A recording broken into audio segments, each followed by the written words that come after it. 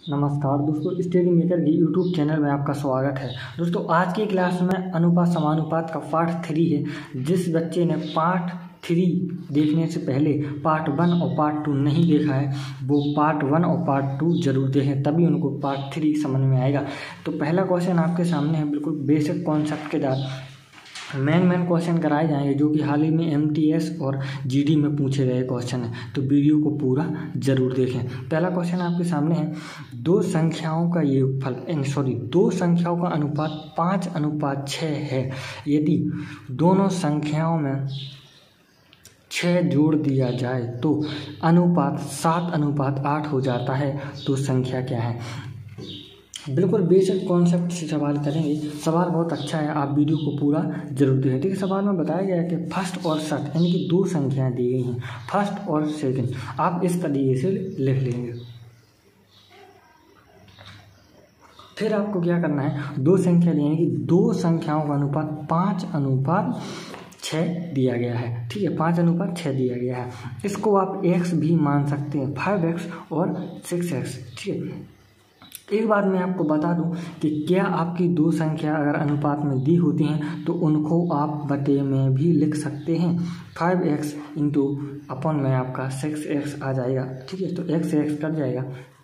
क्या बच्चा आपका, देखिए, आ गया, वही आ गया, फाइव एक्स से कट जाएगा। तो यानी कि आपको लिखने का तरीका बताया गया है।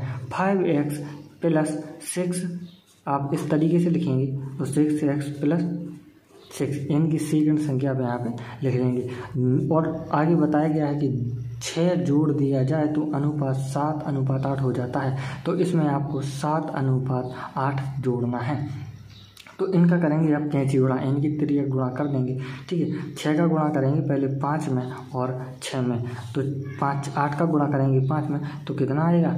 चालीस एक्स प्लस का चिन्ह लगेगा। छः में करेंगे तो आएगा आपका अड़तालीस। बराबर के लगाएँगे चिन्ह सात का करेंगे छः में। तो सात छिंग होता है बयालीस एक्स और सात छिंग बयालीस आपका सिंपल आ जाएगा। इतना क्वेश्चन करने के बाद आपको नहीं बस छोटी सी ट्रिक लगानी है, आपका राइट आंसर आ जाएगा। पहले आपको एक्स एक्स में से माइनस करना है और प्लस प्लस वाली करना है। तो प्लस के बयालीस में से माइनस के चार, चालीस घटाएँगे प्लस के बयालीस में से तो आपके कितने बचेंगे? माइनस टू एक्स बराबर माइनस का चिन्ह आएगा, क्योंकि प्लस में से माइनस घटाएँगे तो आपका कितना बचेगा? अड़तालीस में से छः, बयालीस घटाएँगे तो आपका छः बचेगा। माइनस से माइनस क्लियर हो जाएगा और दो से घटेगा छः, तीन बार कितनी बचा आपका? तीन। आपका निकल के आ गया थ्री एक्स। थ्री एक्स निकल के आ गया एक्स का मान। अब आपके यहाँ पे क्या बोला गया था कि दो संख्याओं का मान छः अनुपात पाँच अनुपात छः है। तो आपको पहला अनुपात कितना दिया गया है? पाँच। पाँच का गुणा आप तीन में करेंगे तो आपका पंद्रह निकल के आ जाएगा। और छः का गुणा जब आप तीन में करेंगे तो अठारह आ जाएगा। पंद्रह अनुपात अठारह यानी कि ऑप्शन नंबर आपका सी राइट हो जाएगा इस क्वेश्चन का। क्वेश्चन आप उनको समझ में आया है तो वीडियो को लाइक शेयर कमेंट ज़रूर करें। नेक्स्ट क्वेश्चन आपसे क्लियर हो जाएगा। अगर इस क्वेश्चन में आपको थोड़ी बहुत दिक्कत आ रही है तो नेक्स्ट क्वेश्चन आप देखेंगे। नेक्स्ट क्वेश्चन आपके सामने है बिल्कुल सिंपल और शॉर्ट तरीके से। इसी टाइप का क्वेश्चन है। आप इसको खुद लगा सकते हैं और इसका कमेंट में आंसर बता सकते हैं। आपके पास पाँच सेकंड का समय दिया गया है। फिर मैं कराता हूँ।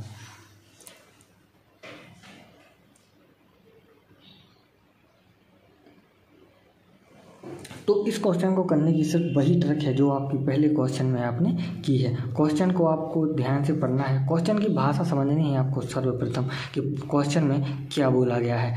क्वेश्चन बोला गया है, थ्री संख्याओं यानी कि तीन संख्याओं का योगफल इक्यावन है। कितना? तीन संख्याओं का योगफल इक्यावन है। यदि पहली का दूसरी से अनुपात चार, अनुपात पाँच तथा पहली संख्या का तीसरी संख्या से अनुपात एक अनुपात दो है तो तीनों संख्याओं का गुणनफल ज्ञात करना है। इस क्वेश्चन में आपको गुणनफल ज्ञात करना है। तो आप इसी तरीके से लिख लेंगे फ़र्स्ट सेकंड फ़र्स्ट थर्ड ठीक है? इस तरीके से आप लिख लेंगे, जैसा कि क्वेश्चन में बोला गया। तो पहले आपका क्या है? तो ये पहले तो आप लिखेंगे यू। यू का आपका कितना दिया गया है? इक्यावन ठीक है, उस टाइप से आप लिख लेंगे। पहला है आपका चार अनुपात पाँच और दूसरी का है आपका एक अनुपात दो। इस टाइप से आप लिख लेंगे। अब आपके सामने क्वेश्चन कुछ इस टाइप से दिया गया है कि आपको बराबर करना है। तो जब आप इसका गुणा इसमें करेंगे और दो में करेंगे तो आपके अनुपात बराबर हो जाएँगे। चार का गुणा करेंगे एक में तो चार आ जाएगा। अनुपात चार का गुणा आठ में करेंगे तो आपका चार अनुपात आठ आ जाएगा इस क्वेश्चन का। अनुपात निकल के बराबर। अब आपके पास किन एक और एक तो आपका कॉमन हो जाएगा, क्योंकि चार और चार है तो आप इस तरीके से लिखेंगे। दूसरा आपका है पाँच, और तीसरा है आपका आठ। पहला हो गया पाँच अनुपात चार चार अनुपात पाँच अनुपात आठ। ठीक है, अब आपको क्या करना है कि बोला गया है यू। तीनों को आपको जोड़ना पड़ेगा। फिर आपका योग में आप गुणन करेंगे। तीनों को आप जब पाँच और चार नौ और आठ होता है आपका सत्रह। योग में आपको निकालना है, भाग देना है। डिवाइडेड योग करेंगे तो आपका कितनी बार जाएगा? तीन बार। सत्रह ती होता है इक्यावन। अब आपको क्या निकालना है? इसका योग। यानी कि तीनों संख्याओं का इससे करना है आपको गुणा। पाँच का गुणा जब चार में, चार का गुणा तीन में करेंगे तो हो जाएगा आपका बारह। पाँच का गुणा तीन में करेंगे तो हो जाएगा आपका पंद्रह। और आठ का तीन में करेंगे तो हो जाएगा आपका चौबीस। आपका रेशियो निकल के आ गया। अब आपको क्या करना है कि गुणनखंड निकालने के लिए आप तीनों को कर देंगे इंटू ठीक है? तो बारह का इंटू जब पंद्रह में करेंगे तो आ जाएगा आपका एक सौ अस्सी।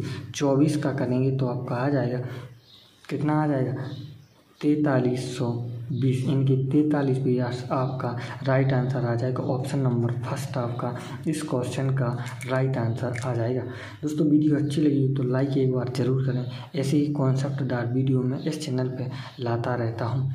तो वीडियो को लाइक शेयर सब्सक्राइब ज़रूर करें। मिलते हैं नेक्स्ट वीडियो में नेक्स्ट कॉन्सेप्ट के साथ। आज की वीडियो में जितने क्वेश्चन कराए गए हैं और क्वेश्चन एमटीएस और जीडी के आए हुए क्वेश्चन हैं। तो वीडियो को लाइक शेयर ज़रूर करें। मिलते हैं नेक्स्ट क्वेश्चन वीडियो में।